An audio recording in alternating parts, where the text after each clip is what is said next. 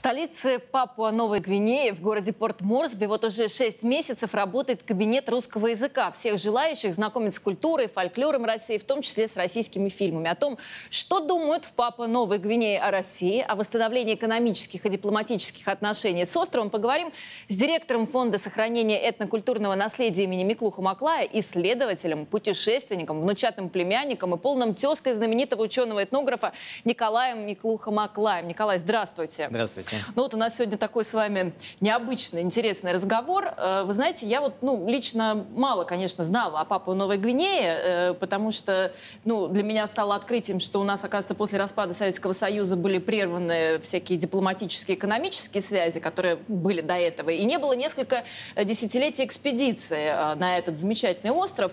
На ваш взгляд, вот почему были прерваны отношения экономические, дипломатические с этим островом, и на какой стадии они сейчас находятся? Ну, дипломатические отношения не были прерваны, они продолжались в течение всего этого времени. Но после распада Советского Союза посольство, оно э, переехало. И сейчас э, посол в Индонезии э, Людмила Георгиевна Воробьева представляет также и Папу Новой Гвинеи по совместительству. Но лететь до территории Папу Новой Гвинеи около пяти часов. И, конечно же, находиться постоянно в гуще событий посольству и послу достаточно сложно. Поэтому исключительно важно, когда там находится какой-то кусочек России. И вот русский кабинет — это фактически та площадка российская, благодаря которой мы имеем вот такую вот связь. Но это, конечно, культурная, гуманитарная в первую очередь связь. Но на ней уже основываться могут и экономические отношения. Экономические отношения у нас продолжались. Они не были настолько э, серьезно э, развиты. И причиной тому были и то, что когда, например, мы отправлялись в 2017 году в экспедицию, мы не представляли, как нам до туда добраться. И причина да, была очень простая. Проблема. Причина, да, была простая. Мы, невозможно было понять, как получить визы. В интернете, к которому мы часто обращаемся, знаете, такое слово «интернет», когда ты заходишь, там пишут, что нужно получить, посольство, э, получить визу в посольстве Австралии. И когда я э, приехал в посольство Австралии и познакомился с, с Петером Тэшем на тот момент, послом, а, прекрасно говорящим по-русски, он сказал, извините, пожалуйста, но Австралия никакого не имеет отношения уже почти 40 лет. Это независимое государство Папуа Новой Гвинеи. И как визы получать, э, это вам надо обращаться к ним. И поскольку у нас не было контактов прямых, поскольку мы не понимали, как, мож, как и кто может ответить, то э, мы не знали, как э, можно добраться. И когда вот такие вот элементарные сложности есть у бизнеса, достаточно сложно вообще эти отношения развивать.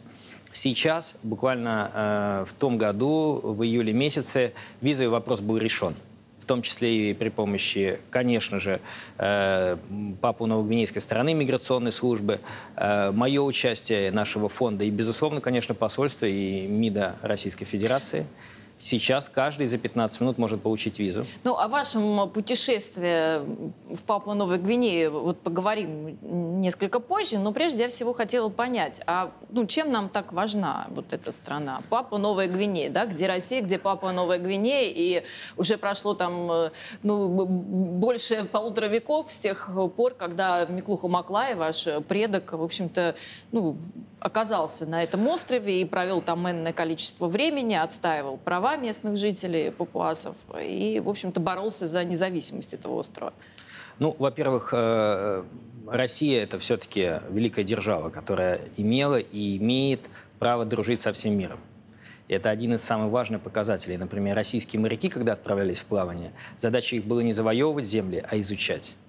Поэтому продолжение того наследия, которое есть в нас – в россиянах, в русских людях, это очень важное качество, потому что тем самым мы продолжаем себя и тот дух, который есть у нас. Дело в том, что действительно Микух Макай боролся против э, угнетения этих народов. А насколько актуально это сейчас?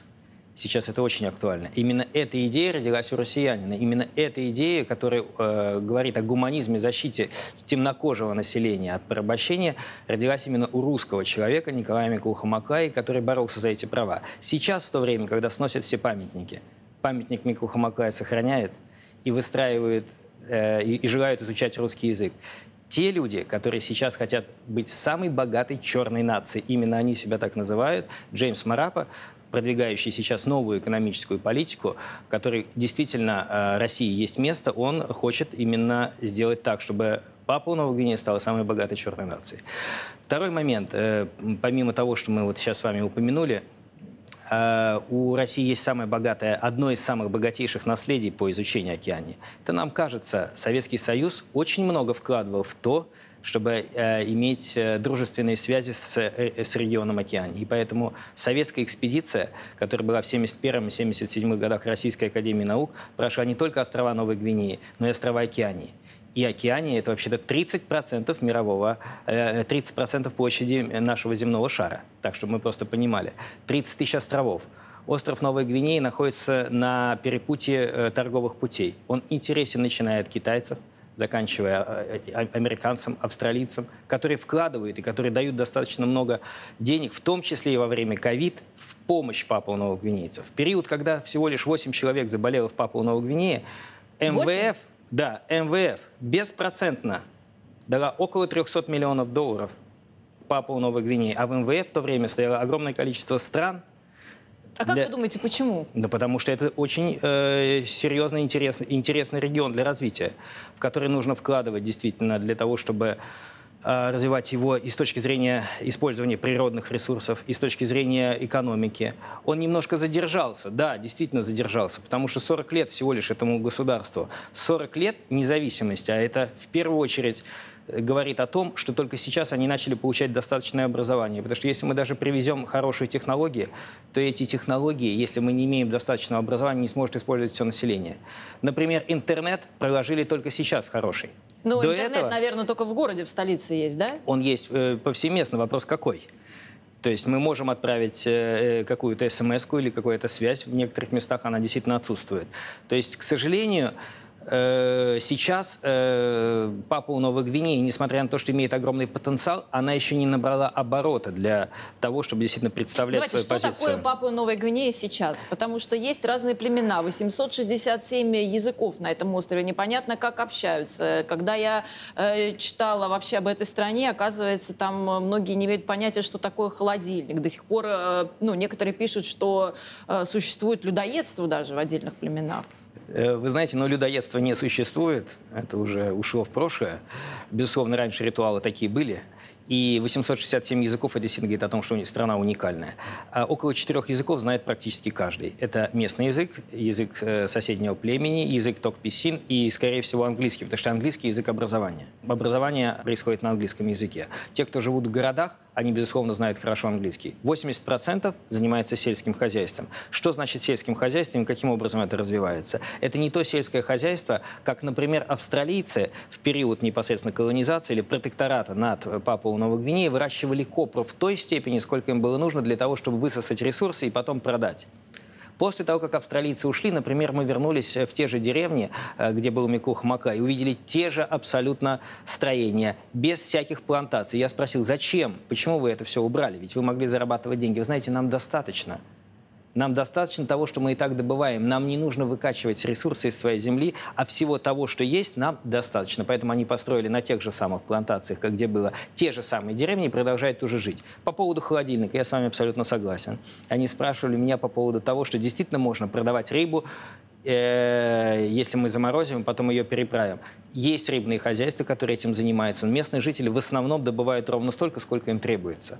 Это говорит только о том, что сейчас страна находится в хорошем большом потенциале. У них э, есть очень интересная ситуация, что когда э, компании, которые приходят для того, чтобы добывать, добывать природные ресурсы, а в, в Папуа Новой Гвинеи входит в первые 15 стран по, по э, запасам золота, э, жиженного природного газа, Газ. э, э, там достаточно много природных ископаемых, включая э, Э, включая практически вся таблица Менделеева, включая лес э, э, дорогостоящий, 15 портов, которые могут это все дело обслуживать. Но, к сожалению, нет веток, которые могут, железнодорожных, которые могут бесперебойно это подвозить. Нет иногда понимания инфраструктуры, как это будет работать, и нет той рабочей силы, которая бы работала на местах, которые требуют э, обучения именно работы с этими технологиями и далее, и далее, и далее. И вот сейчас Папуа Новой Гвинеи обладает этими всеми ресурсами с условием того, что Джеймс Марапа, это новый премьер-министр, который поставил э, э, целью действительно сделать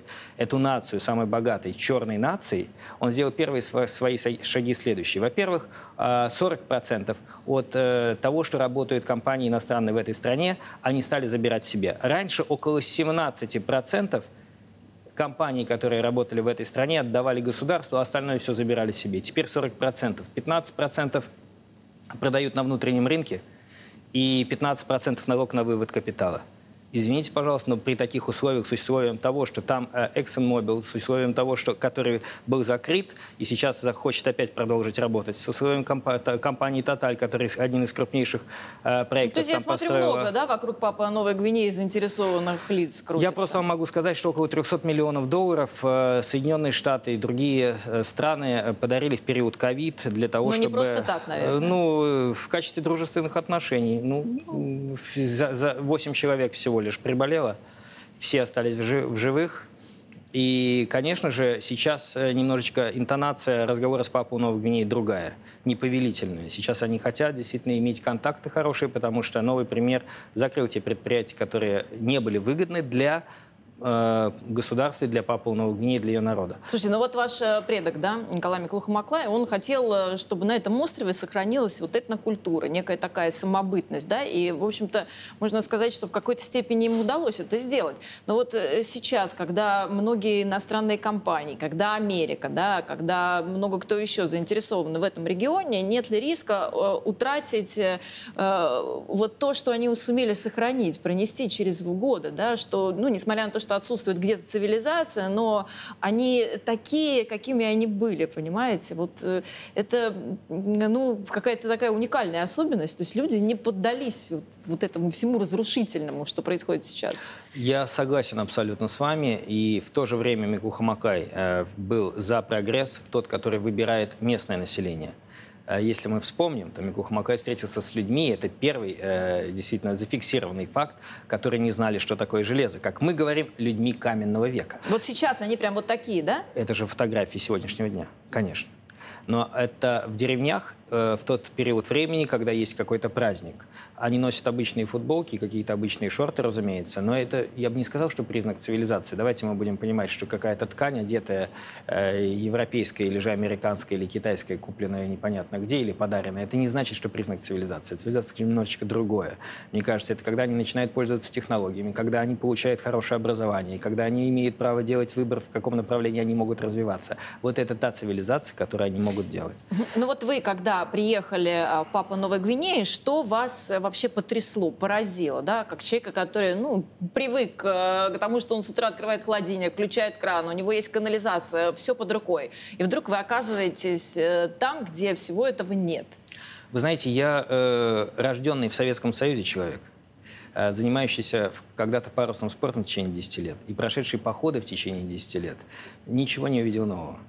Мы ходили всегда в походы, мы ходили и разжигали костер и получали огромное количество удовольствия. В России таких людей миллионы. Безусловно, мы иногда хотим э, от этого уйти, и от холодильников и прийти к этому, а для них это норма абсолютная жизнь, они к этому привыкли. Я э, первое, что увидел, наверное, не ту разницу в того, что у них нет, а то, как все продумано. Вы представляете, у них хижины, они абсолютно э, сделаны таким образом, что они полностью вентилируются. И тебе не жарко, несмотря на то, что средняя температура в году 25-27 градусов. Погоду, она всегда такая. А, абсолютно комфортно сделано и удобно то, что, например, в хижинах они спят и живут, а рядом находится кухня. Все абсолютно продумано в отдельной хижине. А я увидел, как насколько они доброжелательны, насколько у них продумано их э, огородничество, и оно ровно столько занимает места и времени их жизни, сколько нужно для того, чтобы накормить семью, а не с утра до вечера ты в огороде для того, чтобы потом побежать это продавать. Они собирают ровно столько, сколько им нужно, а все остальное время проводят с семьей. И, как мне сказал старейшина, это потомок того первого папуаса, который встретил Микуху Маклая, мы сохраняем традиции, потому что наши дети живут с нами. Это хороший пример. Мы точно так же можем и в цивилизованном обществе сохранять эту традицию, живя вместе с детьми или в большом доме, или же рядом, для того, чтобы они могли видеть наши привычки, и тем самым будем сохранять традиции. Поэтому я считаю, что Первое, вот, что меня поразило, это, э, безусловно, исходя из того, что я знал эту историю, не только э, в их быте, а то, насколько они помнят и любят Россию. Это та причина, почему я сейчас нахожусь напротив вас. Почему я занимаюсь сейчас тем, чтобы рассказывать о Папуа Новой Гвинеи. Но в чем выражается эта любовь? Как вы прочувствовали на себе это? Я прочувствовал это в том, насколько они сохраняют память о Микухамака и, и, и сохраняют память о России. Когда мы подплывали, э, подходили на э, лодке к берегу, они подняли русский флаг. Притом я не брал этот флаг. Это То не есть было у них русский, у них наш российский наш, флаг. Наш российский флаг и поставили на том же самом месте и пели гимн Папуа Новой Гвинеи. А дальше в джунгли, где жил Микоха Макла, и там также все сохранилось практически, приехал основатель государства Майкл Самара. Человек очень высокопоставленный для того, чтобы засвидетельствовать почтение э, российской экспедиции им нет, потому что он считает важным продолжать, э, продолжать отношения с Россией. И вы знаете, вот когда э, ты видишь, насколько они хотят действительно с тобой дружить, и э, дружить даже не с тобой, с Россией в первую очередь, ты понимаешь свою меру ответственности, как ты должен себя вести для того, чтобы выстраивать эти отношения, и понимаешь, насколько действительно есть большой потенциал у россиян, и у российских компаний, и у русских людей, которые могли бы туда ездить и наслаждаться, и отдыхом в том числе. Э, в сотрудничестве с Папуа Новой Гвинеей. А что поэтому... они знают о России э, сегодняшнего дня? Вы знаете, о, о России они знают, э, ну, во-первых, Путин для них бренд, это будем говорить откровенно, конечно же.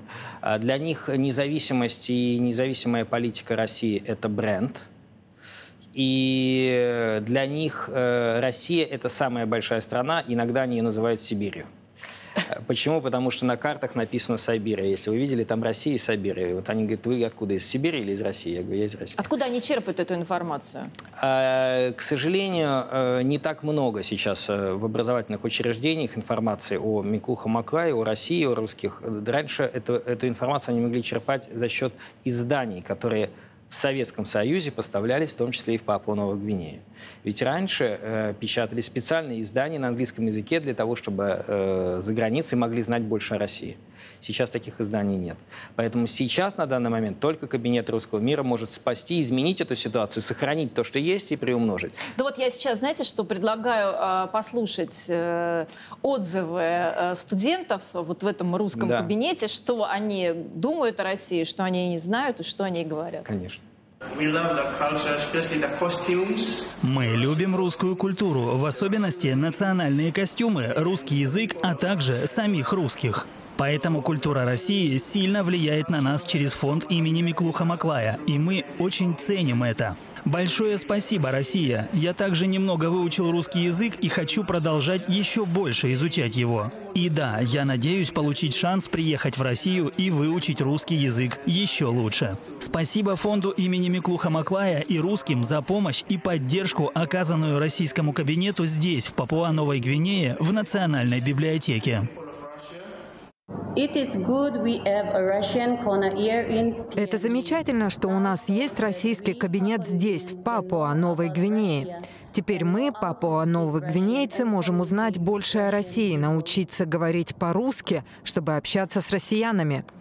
Да, я с радостью бы продолжила изучать русский язык. Это красивый язык. Я люблю Россию. Это красивая страна. Я также узнала немного о российской культуре. Например, зимой россияне все равно женятся. А еще я знаю о балалайке, которая представляет собой треугольный музыкальный инструмент для исполнения русской народной музыки, и о кукле-матрешке, название которой означает «маленькая матрена». Эти куклы-матрешки делаются из дерева и ярко раскрашены. Когда их открывают, в них находится множество еще более маленьких куколок, которые спрятаны внутри. Папуа Новой Гвинеи тоже нужно узнать о том, что происходит на другой стороне света. Узнавая разные языки и культуры, изучая их, мы можем лучше понять друг друга.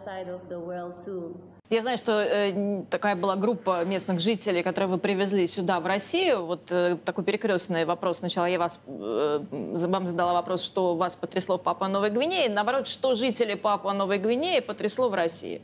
Вы знаете, они э, я помню одну из э, фраз, насколько они уважают Россию.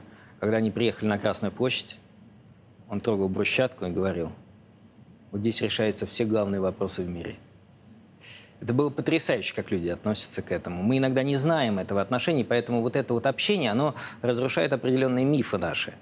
Как о русских, так и у нас у папа у новогвинейцев. Мы даже не знали, как их раньше называть. Вы знаете, в словарях написано новогвинейцы надо их называть, но все-таки их будет правильно папа новогвинейца называть. Э, их поразило, конечно же, э, отношение доброжелательное русских. Это очень много. Э, много говорил. Мы посетили Санкт-Петербург и Москву. Очень было интересно смотреть на те впечатления, когда они зашли в Исаакиевский собор, и они сказали, мы не представляли вообще, что может быть такой церковь.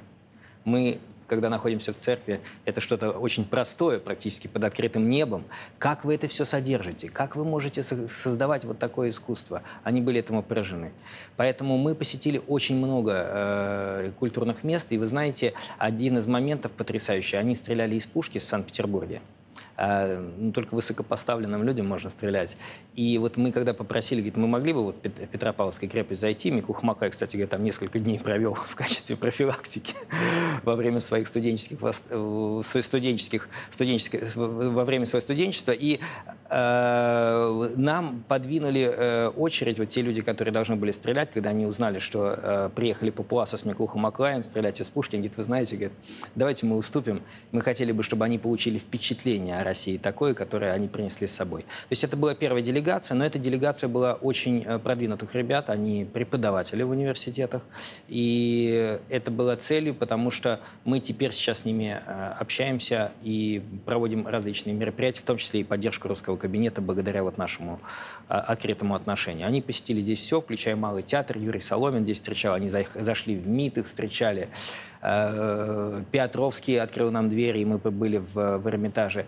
Э, в музее э, в русском они побывали, в янтарной комнате. То есть я вам должен сказать, что та, такую программу, которую мы сделали им за 10 дней, количество мест, которые они посещали, я последний раз за 5 лет посетил. Это те ребята, которые живут у себя на родине в хижинах? А, нет, это те ребята, которые, у которых семья живет в хижинах, а они уже живут э, в, городе. в городе и преподают. Это преподаватели. Ну, э, Скажите, все-таки какая цель э, первоначально стояла э, перед вами? Ну, восстановление дружественных отношений, да, и как бы их поддержка, несомненно, важна. Но э, так или иначе, наверное, идет речь о какой-то взаимовыгоде в том числе. Вы знаете, я вам по поводу выгоды два слова скажу. Когда, в чем выгода? В количестве денег? Я, когда отправлялся в эту экспедицию, это было самое невыгодное предприятие. Всю экспедицию оплачивал я. Некоторые деньги мне помогли мои друзья, потому что компании, которые на меня смотрели, к которым я пришел, сказали, что это мы не видим в этом выгоды. В чем здесь выгода? В Российской Академии Наук предложили мне обратиться лет через 20, когда будет введена эта программа. И когда я отправился в эту экспедицию, я считал не то количество денег, которое я получу, а я считал своим долгом сделать то, что могу сделать только я на тот момент. Я взял российских ученых, пригласил оплатил им билеты, составили мы программу, и мы поехали туда, потому что я видел в глазах тех людей, которые были до этого э, в Папуа Новой Гвинее, что важно это продолжать. Мне человек, который был в Папуа Новой Гвинее в 1977 году, Данил Давидович Тумаркин сказал, я шесть дней всего был на берегу Маклая вот этих шести дней мне хватило на всю жизнь. Я имею в виду о взаимовыгодном сотрудничестве непосредственно двух стран. А теперь вот можно возвращаться к да. взаимовыгодному сотрудничеству. Прежде всего это Мы поговорили о э, том самом главном, на чем базируется э, моя цель и задача, и вообще крепкие отношения. Через 150 лет эти крепкие отношения, они а, сохранились только потому, что они базировались немножечко на другом, нежели просто на выгоде денег но говорить о том, чтобы действительно эти э, выгоды были финансовые, необходимо. И, разумеется, у России есть очень много технологий. Разумеется, есть э, желание сотрудничать и открывать им двери, в том числе по добыче полезных ископаемых. Есть э, интересные программы по а, образовательной, которые Россия может использовать. Но Россия мало знает о Папуа Новой и мы с вами ее открываем мы показываем, что, что это может быть, и, соответственно, будущие мероприятия, которые будут связаны с э, проведением бизнес-митингов, которые расскажут папу, о, папу, о Папуа Новой Гвинее, для, русских бизнес, э, для русского бизнеса, который сможет спокойно поехать теперь туда, без проблем с визами, узнать об этом, договориться и получить контакты доброжелательные, мы все это дело организуем. Наш фонд органи- работает достаточно долго э, над этим. Это не коммерческая организация, мы не преследуем э, коммерческие цели, но мы понимаем, что без коммерции, и мы не сможем поддерживать и кабинеты русского мира и далее. Теперь давайте посмотрим, насколько выгодно поддерживать кабинеты русского мира. А если мы знаем, они знают русский язык, это продвижение туризма. нету туристов русских, которые хорошо знают английский язык. Большинство э, из них знает русский. Если там будет даже два человека, которые будут знать русский язык, это э, потенциал туристического бизнеса для российских компаний, для компаний Папуа Новогвинейских, расширять свой кругозор для бизнесменов, которые смогут получить э, консультации и, и по возможностям этого бизнеса. Это начиная всего лишь с обучения русскому языку. Позитивные отношения благодаря той истории, которая есть, которую мы вкладываем благодаря этим мероприятиям, позволят открыть двери, например, на серьезном самом уровне. Потому что у нас общение идет напрямую с премьер-министром, напрямую с, с политической элитой и напрямую с теми людьми, с которыми мы э, спали на циновках. Чем мы отличаемся? Тем, что мы именно начиная от циновок, заканчивая самым первым уровнем, который только возможно.